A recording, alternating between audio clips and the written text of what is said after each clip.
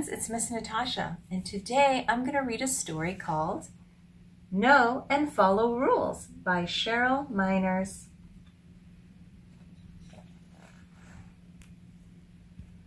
I go to school with my friends. We have rules to help us know what to do. We have rules for play,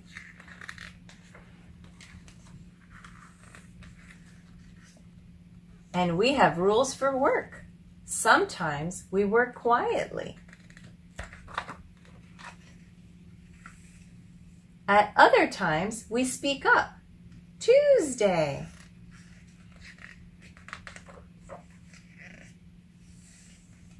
Rules help us learn. One rule I know is to listen.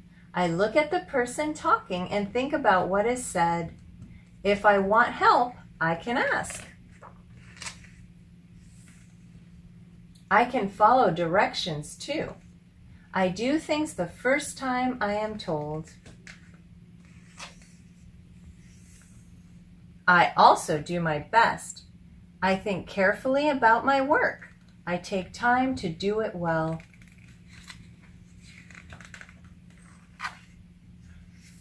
Rules help me show respect. I keep my hands and feet to myself. I won't use them to bother or hurt anyone.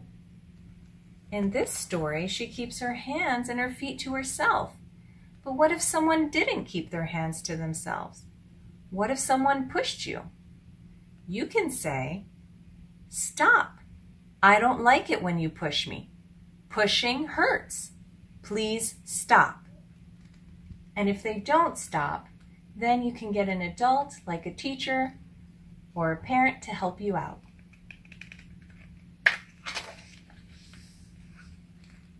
And I ask permission to use things that aren't mine. May I look at that? She's asking if she can look at his book.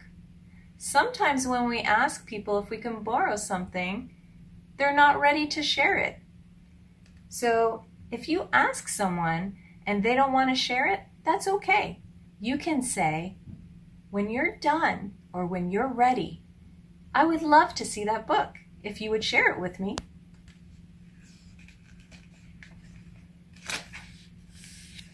Rules remind me to be polite. I say please, thank you, and excuse me. I speak kind words in a friendly voice. Thanks. Looks like he lent her that book. I do things to help someone else. Rules help make things fair for everyone. When I play games, I follow rules. I wait my turn. I let everyone use things. If there's a problem, I listen and talk about it or get help from a grown-up. Rules help keep everyone safe too. I walk in the hallway I also use things carefully.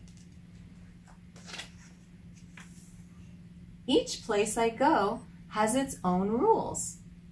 When I know and follow rules, things usually work out well. When I follow rules by myself, I'm being responsible. I'm learning and staying safe. I'm showing respect. It looks like she's cleaning up her mess without anyone telling her to.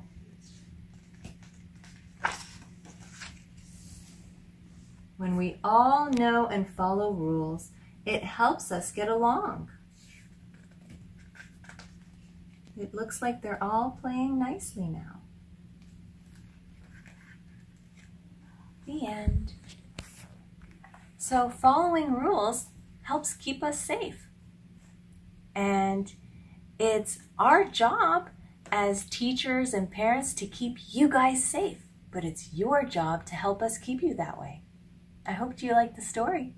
I'll talk to you soon, friends. Bye.